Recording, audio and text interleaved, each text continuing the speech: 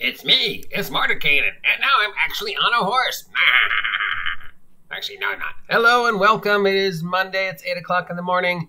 It's the 24th day of January 2022. It's about 55 degrees and sunny here in Ventura, California, with a wind warning and a high surf warning. And it's Super Bowl week. Super Bowl Sunday's coming up. I think the Rams, but not sure. I don't know. Nobody's told me who I'm, play- I'm voting for yet. So I don't even know who's playing. All right, it's Monday, which means it's time to take a look at the news. What has happened since we last looked at the news on Friday? Some stuff. Hmm.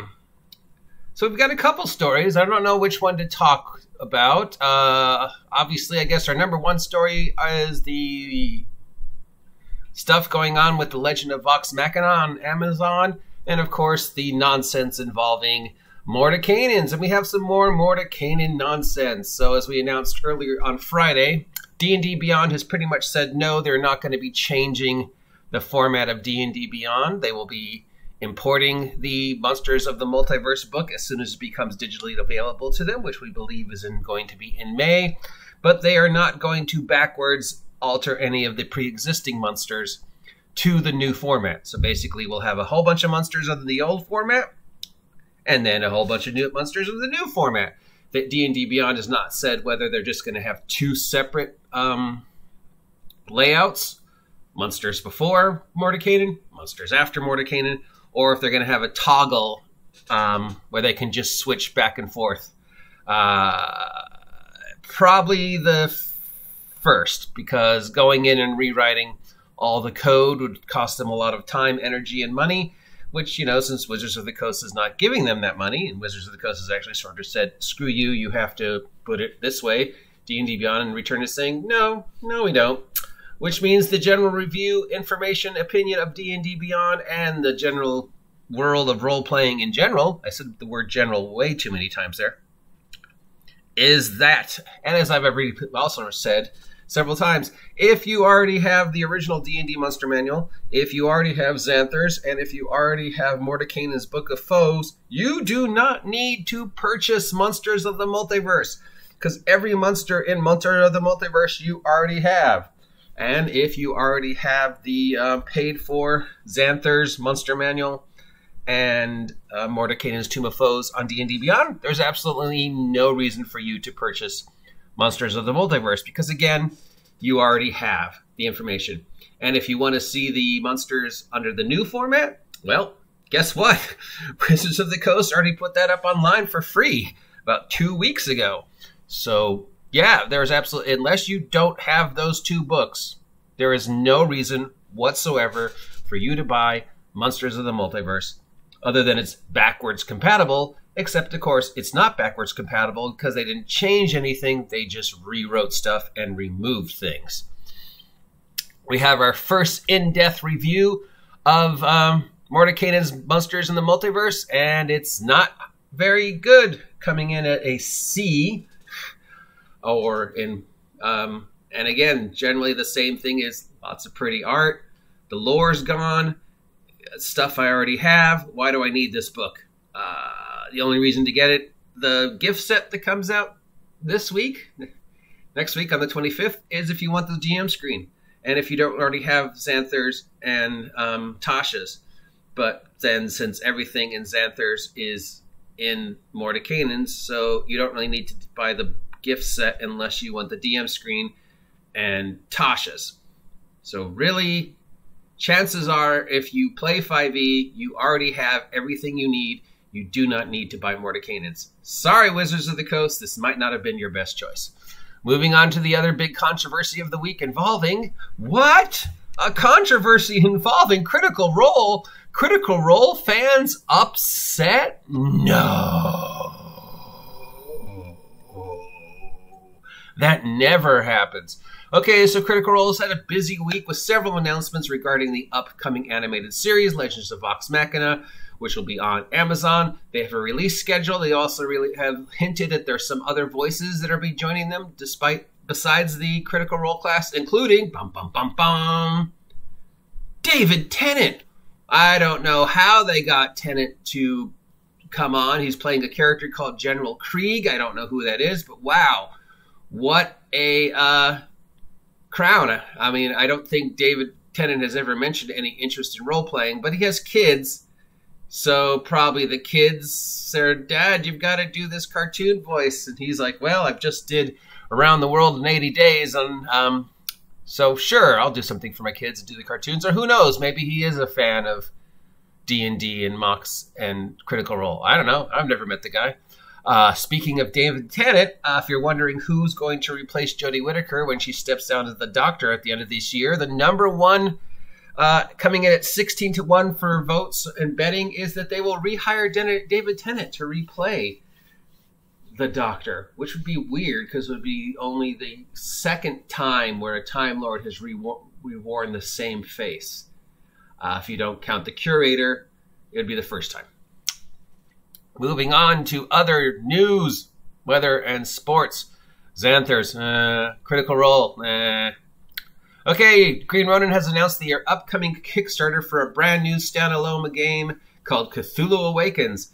This new game will use the Age Engine system, which you've already seen in Blue Rose, Dragon Age, the Expanse role playing game, and Fantasy Age. Taking place in the Weird Century, the game will allow you to play cosmic horror at any point from 1920s to the present day.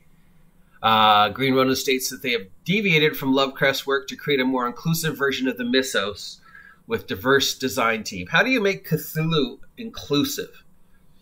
I mean, you can't get more inclusive than Cthulhu. Cthulhu doesn't care. He's going to eat your brain. I don't care who you are. I don't care what you are. I don't care what you look like. I don't care what you identify as. I'm going to eat your brain. So I don't know. I guess it's going to be a gay Cthulhu. I mean, and you already Green Ronin, you already have a system that covers multiple centuries. You've already done that with the Age system. So all you're doing is redoing something you've already did and adding Cthulhu and making it diverse. Which I don't know how you make Cthulhu more diverse. Yeah. Okay, speaking of diversity, uh, Gen Con has announced that if there is a physical Gen Con this year, they will allow people to display pronouns on their guest badges. They are now they, actually the original one, which I thought had a lot of fun with, was they were going to uh, they were going to acknowledge pronouns. Now, if you didn't read the rest of the article, if you just read that, Gen Con will acknowledge pronouns. Means if you're going to go, wait, you didn't acknowledge pronouns before? Not sure how that works. Hey, where did uh, Bobby and, St- and Jenny go? Oh, I sent downstairs to get. But what they're meant to say is they met, they were going to acknowledge pronouns in regards to your badge, in regards to how you identify. But they didn't make that clear either, so again, my mind instantly went to any pronoun? Can I identify as me? What about nobody? What about thou? Thou is a pronoun. But no, now they've clarified that no, it's the gender pronouns he, him, she, her, they, them, he, she, they. At which point, of course, I think, oh, well, then can I identify as them? A plural? I identify as them, That's, which is more than one person. And you know what? If I'm going to identify as them, I'm going to hire a little girl to follow me around and occasionally point at me and go, them! Them! As in regards to the famous movie, Them. Anyways, the moral of this story is, is that before you make a press release, Gen Con, you probably should be 100% sure that a nitpicking jerk like me is not going to see that and go, so you never acknowledged pronouns before? And speaking of conventions, one of the world's largest tabletop gaming conventions has a new owner.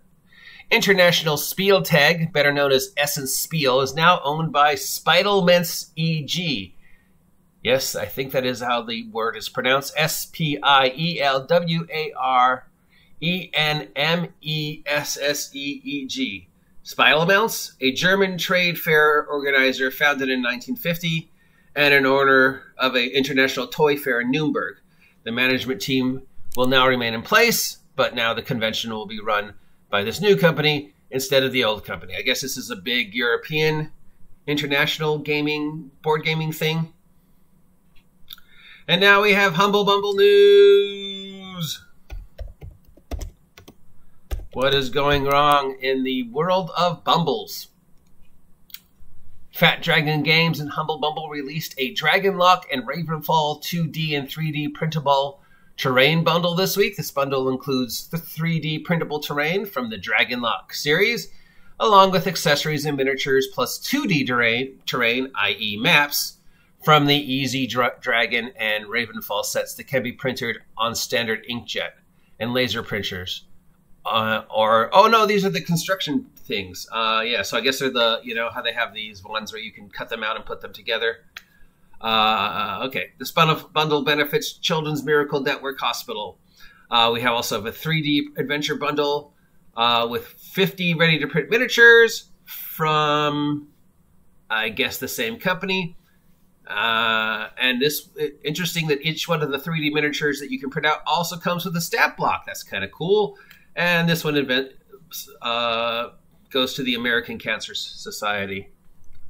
From Bundle of Holding, we have a Palladium Fantasy 2E bundle this week. Starter collection is $17.95, $18. Includes Palladium Fantasy 2E, three Palladium Fantasy supplements, the Western Empire, and Library of Bletherad. The bonus collection cont- contains eight Palladium Fantasy World source books. Obviously, this is probably the. Are there enough eight two E source books to be eight yet? I don't know. I think there's only one, so these are probably older ones. From Sigil Stone, we have the complete collection for $15 of the Five Torches Deep run. We have Five Torches Deep, the Five Torches Deep supplement, Vagabonds of Dyfed, two Vagabond supplements, and Dorkota City on the Sea of Glass for $15. We also have a Palladium 1E collection. Starter collection for $13 completes contains Palladium the role-playing game, Island of the Edge of the World, Arms of Nargash Tor, Palladium Fantasy Game Masters Kit, and the Palladium Fantasy Paper Miniatures. I played Palladium 1E. I haven't heard of either of those. the bonus collection considers contains old ones, Adventures on the High Sea, Adventures in the Northern Wilderness, Yin-Sloth Jungles, and more printable miniatures. Again, I played Pathfinder for years. I've never heard of any of these. Are are these Palladium? products. Oh, okay. Oh, okay. I read it wrong. Yeah, these are Palladium products. I'm sorry. Uh, I don't know why it came up under Pathfinder. Oh, it's a misprint on their part. Okay, I'm sorry.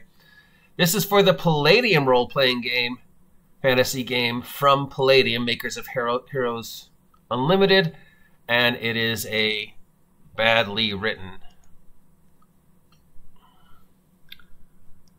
For the one roll engine, we have Godlike, Wild Talents, Better Angels, and ORE freebies. This is a $15 for the one roll engine. Godlike is a superhero role playing game.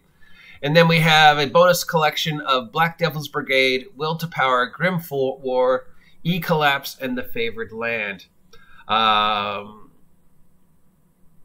I haven't heard that one mentioned in a while. And finally, on Bundle of Holding, we have a Mörk Borg collection. We have for $13 the Box of Shadows, Bridges of Muir, Kalos Monsters, and Fisk Borg. And the bonus collection includes some more stuff for the award winning Doom Metal tabletop role playing game that is Mörk Borg. So we have one from Sigil Stone for Five Torches Deep. That's my recommendation. We have one for Palladium that for some reason is written badly. We have one for Pathfinder we have one for Run World Engine, and we have one for Mörk Borg. If you're interested in investing in one of those two, I would either go with the Mörk Borg or the Five Torches Deep. That seems to be it. Oh, wait, I do have one more story. Okay. The Known World, which later became Mystara from BECMI edition of Dungeons and Dragons, started by Tom Moldvay and Lawrence Schick, was a campaign that ran from 1976 to 1978. A player from that game saved the house rules as well as his own overview and he, he has scanned them into OD&D booklets by Designers and Dragons author Shannon Appelcline. You can find them on this Google Drive link in the form of eight PDFs. There's more information about the contents in this thread. So if you are interested in some of the Moldvay BECMI work, um, yeah, somebody wrote this all down and then scanned it finally. As now it's available. I'll put a link to the Google Drive below. That's pretty cool. Uh, that's probably my favorite thing of this week. So, in closing for this week's nose, don't get Mordenkainen. Uh, uh, Critical Role is coming out with their anime thing, and they have some voices. David Tennant, wow some other stuff, a Humble Bundle, the Thing Bundle, blah, blah, blah, blah, blah. Is there any other news? We do have one more story regarding Critical Role, but I'm going to save that for a separate vlog because it's ridiculous and worthy of a separate blog. Till next time, if you appreciate any of these words that are badly coming out of my mediocre mouth, let me know. If you don't appreciate this content, let me know. I can't fix it if you don't tell me what's broken, and as long as the criticism is creative, I'll actually pay attention to you. Till next time, I've been the OGGM, your guide to all tabletop role playing game news, weather, sports, and general internet nonsense. And now, look at me! I'm still Mordenkainen, and I'm still on a horse! Get out of my multiverse!